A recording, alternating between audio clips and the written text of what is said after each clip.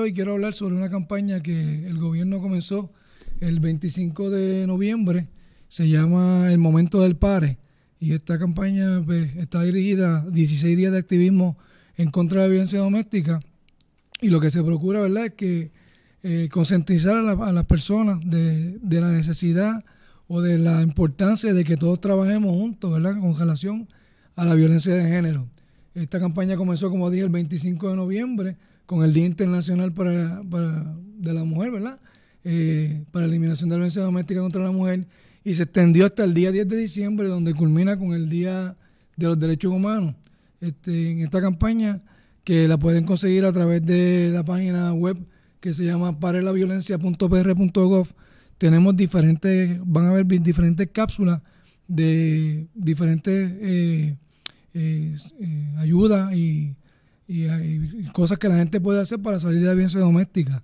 Eh, esta campaña de pares es un llamado que el gobierno hizo a través de, sus agencias de gobierno, de la empresa privada, del sector también privado, de los medios de comunicación, de los municipios, de las organizaciones no, gubernamentales sin fines de lucro, y de base de fe y de la ciudadanía para trabajar de manera en conjunto en contra de la violencia de mujeres y de niñas. El propósito de esta campaña es mejorar y ejecutar los programas de apoyo rescate y educación contra la violencia de género. Eh, y me, gustó esto que dice que la violencia de género no tiene espacio ni tolerancia en el Puerto Rico que nosotros aspiramos. Y el silencio ante este mal nos destruye como sociedad. El compromiso y desarrollo de política pública para preservar la vida y los derechos humanos de las personas es responsabilidad de todos y de todas. Y este es un tema que nos toca a todos de diferentes maneras. Eh, yo soy hijo soy esposo, soy padre, soy hermano eh, de mujeres y, ¿verdad? y me toca este tema y lo quiero traer con mucha, ¿verdad? con mucha importancia en la mañana de hoy porque sé que en la, en la, en la ¿verdad? como dice, en la calle, allá afuera hay personas que están siendo víctimas de la violencia doméstica y necesitan la orientación y la ayuda. Por eso es que programa tras programa siempre tocamos algo de la violencia de género y le, recomendamos que si tiene alguna duda, pues nos llame al 897-2020 eh, y allí nosotros buscamos la manera de canalizarlo. Pero en esta mañana quiero pasar eh, un videoclip, ¿verdad? Eh, una cápsula pequeña. de La primera que quiero pasar es las señales de violencia. Y para que, ¿verdad? Esta, esta cápsula la, la, da o la dice la doctora Carmen Ana González, que es la secretaria del Departamento de Familia, y queremos que usted comenzar hablando de esta cápsula o escuchando esta cápsula.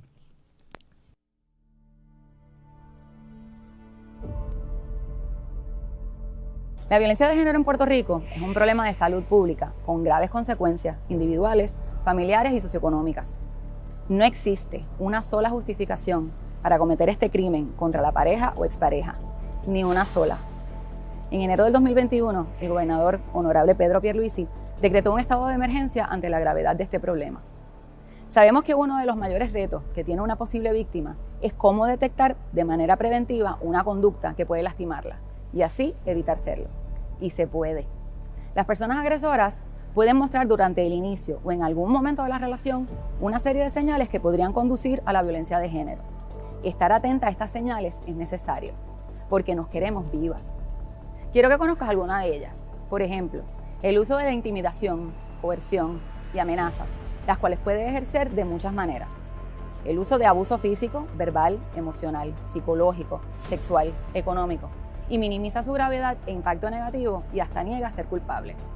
Te aísla de tu familia, de tus amistades. Quiere ejercer control sobre tu forma de vestir, tu maquillaje y otras de tus costumbres. Manipula a los niños de muchas maneras, para hacerte sentir culpable de su comportamiento, o los usa como intermediarios para mantener ese control, o amenaza con quitártelos. Cree tener unos privilegios que a ti te niega y define el rol que debes tener, no el rol que tú deseas tener. También debes estar atenta a si es adicto a sustancias, a expresiones y acciones violentas, si te cela y quiere controlarte, si te aísla, si te impone su presencia en todo momento, si tiene problemas para controlar su temperamento, si te pide que justifiques tus acciones y decisiones, si te transgrede los límites que tú le impones, si te pelea constantemente, si te identificas con alguno de estos escenarios y si algún familiar o allegado levanta esa bandera sobre el comportamiento de tu pareja, esta es una señal de alerta para buscar ayuda, Estamos para apoyarte en todo el proceso, brindarte las herramientas para cambiar el rumbo y proteger tu vida y la de tus hijos. Durante estos 16 días de activismo contra la violencia de género, reflexiona sobre tu momento del pare.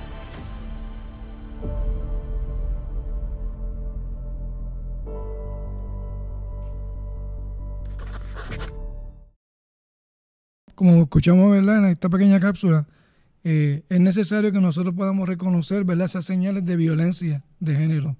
Si usted se identifica con alguno de, la, de los patrones que se hablaron en esta, en esta cápsula, eh, nosotros les recomendamos que nos llame al 897-2020 y se comunique con nosotros y nosotros podemos, le podemos ayudar y canalizar su, ¿verdad? Su, su necesidad o lo que usted quiera eh, que podamos hacer para que usted pueda salir de ese ciclo de la violencia doméstica. Eh, quiero pasar otra cápsula también y la quiero pasar porque sé que hay muchas dudas también en cuanto a la violencia en el noviazgo, que ahora también, como hablamos en, la, en el programa pasado, también se incluye dentro de la ley 54. Y esta cápsula la dicta la doctora María Rebeca Ward, que es directora del Centro de Ayuda a Víctimas de Violación del Departamento de Salud. Y quiero ¿verdad? Que, que escuchemos ¿verdad? Eh, ciertos tips para nosotros trabajar con la violencia en el noviazgo.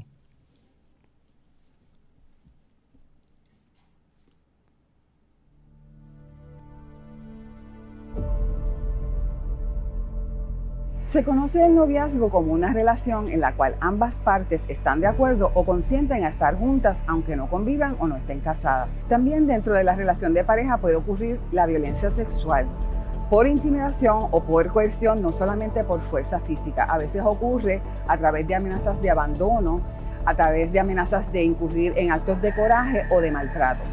En caso de abuso sexual, la persona debe acudir a una sala de emergencia dentro de las primeras 72 horas para recibir ayuda médica y que se recopile evidencia médico-legal con el RAPE Kit o el Kit de evidencia forense. El dominio de una persona sobre otra también se puede ver a través del control del dinero, de la vestimenta o de las salidas.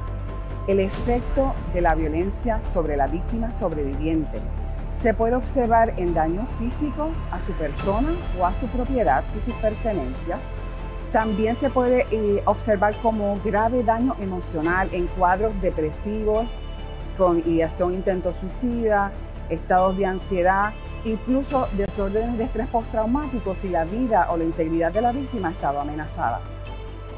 Es por esta razón que las y los jóvenes, así como la población en general, deben tener acceso a la información que les empodere para desarrollar noviazgos y relaciones saludables.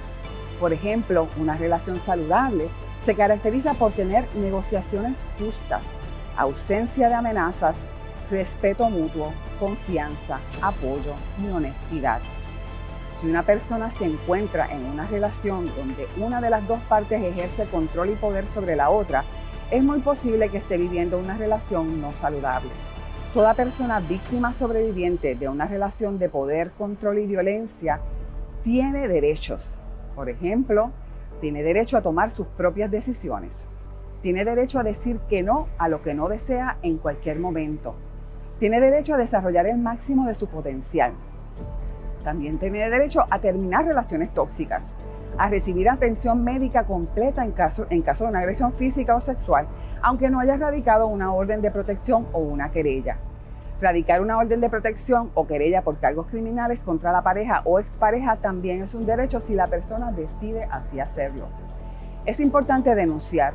No permitas que nadie atente contra tu integridad física y mental. Si tu pareja llega a agredirte, lo mejor que puedes hacer es poner un alto y denunciar a las autoridades correspondientes. En caso de que llegue a cometer alguna otra agresión en tu contra, ya habrá un antecedente de por medio.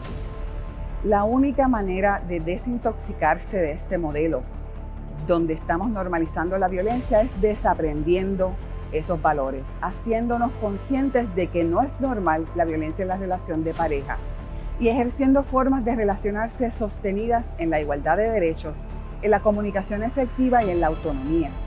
Es importante que defendamos nuestro derecho a tomar decisiones informadas y decisiones propias no decisiones manipuladas porque donde hay manipulación no hay consentimiento.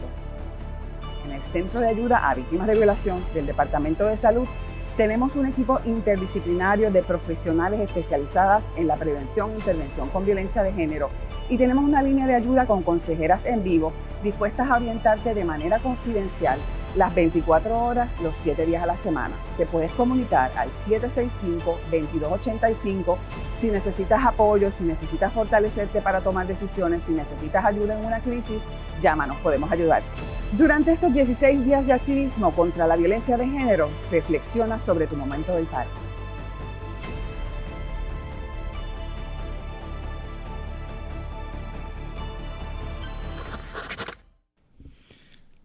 Hemos, hemos eh, dado énfasis a este programa porque queremos que la gente entienda que es momento ya, como dice la campaña, el momento del pare, de reconocer esos patrones de, conducta que, son de poder, de control, de violencia, de manipulación y que afectan el entorno familiar con la violencia de género. Eh, eh, me gustaría, ¿verdad?, que en la oportunidad que ustedes tengan, entren a esta página, pare, para, pare la violencia.pr.gov y pueda ver cada una de las cápsulas que hay ahí, hay alrededor de 17 cápsulas, donde habla de, las señales de violencia que ya las discutimos aquí o ya las pusimos, y habla de la violencia del noviazgo, habla sobre la violencia doméstica en adultos mayores, habla sobre la violencia sexual, habla sobre las ayudas económicas y de vivienda para víctimas de violencia, eh, nos habla también sobre las organizaciones no, no gubernamentales y sin fines de lucro ya sea de base de fe, como pueden ayudarnos también. Habla sobre la violencia doméstica y el maltrato a menores. Habla sobre el acceso a la justicia que tienen las víctimas de violencia doméstica. Habla sobre las órdenes de protección, que ahorita vamos a poner un videoclip porque esa parte nos corresponde a nosotros, a la policía directamente. Habla sobre la violencia cibernética eh, a través de los dispositivos, de las páginas y las redes sociales, que también nos compete directamente a la policía de Puerto Rico. Habla sobre la violencia, la violencia económica, cómo estas personas manipulan a través de lo económico a sus parejas, habla sobre la violencia doméstica en la diversidad funcional, habla sobre la violencia doméstica o el activamiento sexual en el, en el empleo, habla sobre qué puede hacer para, que una víctima de violencia de, género pueda salir ¿verdad? De, ese círculo vicioso, eh, cómo identificar si eres una persona agresora y señales de violencia y el plan de escape que existe ¿verdad? en las diferentes agencias gubernamentales, empresas privadas, que debe de haber para que podamos nosotros también ser parte de ese proceso de ayuda. Y al final terminamos con una cápsula de Caridad Pierluisi, donde, que es la directora de la oficina de eh, del gobernador, que habla sobre el momento del pare de la campaña como tal. Pero yo quiero ahora, eh, ya que hablamos de las señales de género y de la violencia en el noviazgo, eh, poner una cápsula que tiene que ver con las órdenes de protección, que es una de las cosas que hemos hablado, que es un remedio que existe civil dentro de la ley 54 y que la semana pasada lo discutimos aquí con la compañera Ibeli Serrano. Pero esto es una parte que le corresponde también ahora a la policía, que originalmente, como son órdenes civiles, lo hacían los alguaciles solamente. Pero una vez el gobernador declaró un estado de emergencia con relación a la violencia de género, la policía entró eh, creando una unidad que se comunica directamente con, con las unidades o los precintos donde se generan eh, órdenes de protección para que haya un control de cómo se va a diferenciar y que sea de forma eficaz, que sea rápida, sea oportuna la manera en que esa orden de protección se ejecuta y se le da conocimiento a la víctima de que ya, ya el victimario tiene conocimiento de esa orden y de las restricciones que el tribunal ha impuesto. Así que quiero hablar sobre, que pasar la cápsula sobre las órdenes de protección. En este caso vamos a tener, hablando esta cápsula, la teniente Aimee Alvarado, que es la directora de la Unidad de Violencia de, Violencia de Género del negocio de la Policía de Puerto Rico a nivel central.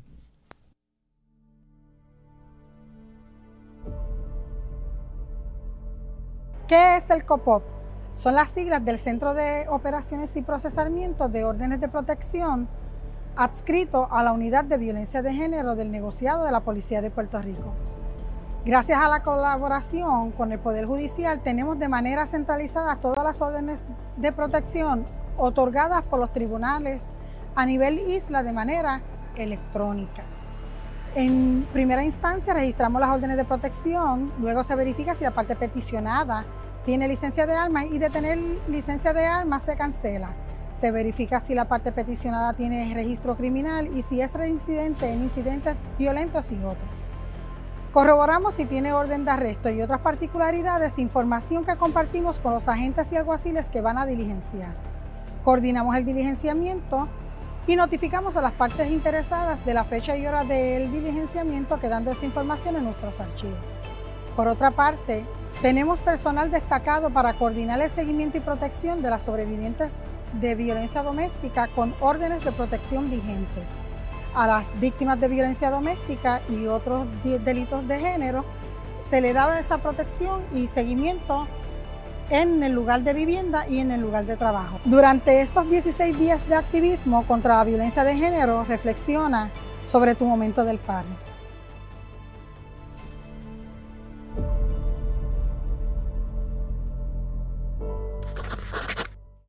Como escuchamos en esta cápsula, en esta cápsula de, de, de la orden de protección por la teniente M. Alvarado, eh, la idea de ese centro que la policía está, abrió y está operando es agilizar ¿verdad? La, la, forma de identificar si hay algún tipo de peligrosidad adicional, como dice ella, personas que violentan la ley 54 y tienen eh, armas de fuego, portación de armas de fuego, eh, que tienen alguna orden de arresto, pues ya cuando esta orden se envía, se envía con todos los detalles de que esta persona es peligrosa o esta persona está armada o esta persona tiene una orden de arresto o esta persona tiene esta situación y ya cuando uno va a diligenciar la orden, eh, no solamente va eh, asegurando a la víctima, sino también protegiendo al policía también de tener algún encontronazo o alguna situación con esta persona porque desconocíamos que tenía armas de fuego. O sea que este programa es para las víctimas y para hacer un, un servicio más efectivo, más eficaz y poder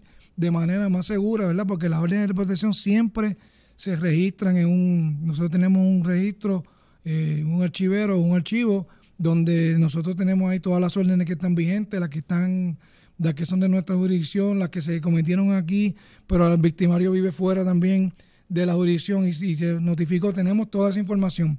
Pero ahora con el, con el COPOP, que es la oficina que tiene el negocio de la Policía de Puerto Rico, pues estamos mano a mano con tribunales y con las otras agencias también que tienen que ver con el licenciamiento de órdenes de protección. Quiero también presentar una cápsula sobre la violencia cibernética y la presento también porque es otra de las partes que la policía está trabajando directamente. Esta cápsula informativa la da el teniente Luis Maldonado, que es director de la División de Crímenes Cibernéticos del negociado de la Policía de Puerto Rico, y él nos va a explicar también cuando hay algún tipo de violencia cibernética, cómo es que nosotros, el negociado de la Policía de Puerto Rico, eh, trabajamos con esa, con esa situación. Así que vamos a poner la cápsula de violencia cibernética.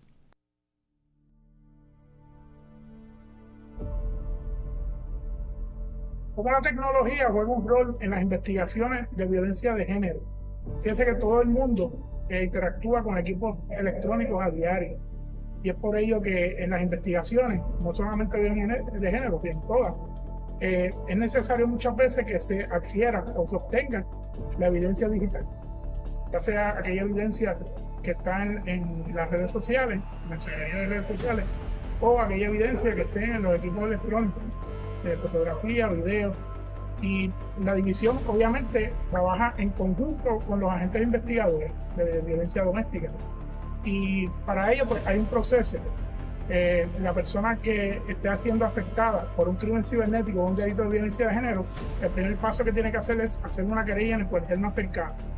El agente investigador se pondrá en contacto con la División de Crimen Cibernético para los efectos de preservar toda evidencia digital que esté en las redes sociales y nos se comunicará además para sacar una cita, para reunirnos con el agente, levantar un expediente y consultar con un fiscal.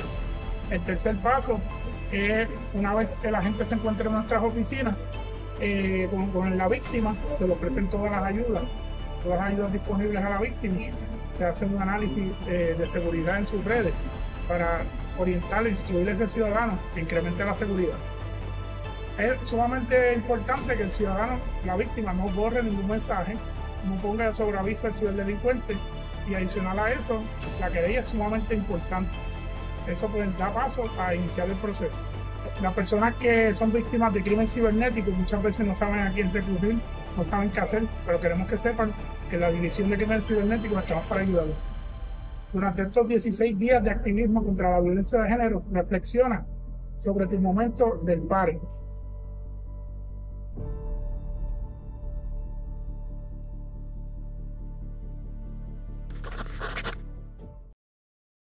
Durante los minutos que llevamos en el programa, es importante crear conciencia de cuando es el momento del par. Es importante crear conciencia en que las damas, las niñas, las mujeres eh, pongan, un, pongan un alto ya a la violencia de género, ya, ya sea denunciando, porque es importante denunciarlo y lo repetimos en cada cápsula, es importante denunciar, es importante reconocer que esto es un problema de salud pública, es importante reconocer que cuando la relación es tóxica, cuando la relación existe una una, se ejerce una, una, presión de poder, de control, de violencia, no, no deja que la otra persona pueda actuar por sí misma y ser feliz. Eh, no sé, es importante para nosotros recalcarle a ustedes cada vez que tengamos la oportunidad que es importante que usted se cuide, que usted se, se valore a sí misma, de que usted rompa con el ciclo de la violencia doméstica y por eso para nosotros es vital que usted se comunique con nosotros y nos dé la información de la situación cual sea la que usted está pasando. Nosotros tenemos diferentes alianzas con diferentes entidades de, de base de fe o, privadas sin fines de lucro que también trabajan mano a mano con nosotros. Nosotros tenemos la unidad de violencia de género que la dirige a nivel central la teniente Aimee Alvarado. Nosotros tenemos en la comandancia de Utuado la división de violencia doméstica y violencia de género que trabaja en cada uno de los pueblos mano a mano con nosotros. Y nosotros queremos que usted se comunique al 897-2020 o al, 87, al 894-4040. En el, 20, en el 897-2020 es con el cuartel de Lares y en el 898-4040 y usted pide hablar con la División de Violencia Doméstica y de Violencia de Género y allí también gustosamente le vamos a, le vamos a ayudar porque nuestro es nuestro es que esto, se, erradicar la violencia, de la violencia de género. Es importante, como dijimos anteriormente, que esto es un, compromiso y un desarrollo de política pública no solamente del gobierno, sino también es de todos. Nos toca a todos eh, trabajar con esta situación y, y poner nuestro granito. Y, y, es importante, como dije nuevamente, y lo repito y lo voy a seguir repitiendo, es importante denunciar, es importante reconocer que hay una situación que hay que trabajar con ella, porque como decía la compañera en el programa pasado, eh, Serrano, cuando la violencia doméstica eh, ocurre en los hogares, destruye familia, destruye eh, a la familia en general, afecta a los niños, afecta a los menores, entra en un proceso donde cuando hay una violación a la ley 54 y hay menores envueltos, entra al departamento de familia y es posible que hasta pueden remover los menores de un hogar. Y nosotros lo que queremos es evitar ese tipo de situación y darle la mano a cada uno de ustedes, ¿verdad? Eh, que tenga alguna situación con relación a la violencia de género. Eh, como dijimos, esta es la campaña de 16 días de activismo en contra de la violencia de género. Eh, se llama Pare de la Violencia de Género. como dijimos anteriormente, comenzó el 25 de noviembre con el Día Internacional de la Eliminación de la Violencia de Género y culmina este 10 de diciembre con el Día Internacional de los Derechos Humanos. Así que este ha sido otro programa más de la Policía Informa. Espero que eh, nuestras cápsulas ¿verdad? le hayan servido de orientación, de, guía para que usted se mueva y salga del ciclo de la violencia doméstica, de la violencia de género o el abuso intrafamiliar, ¿verdad?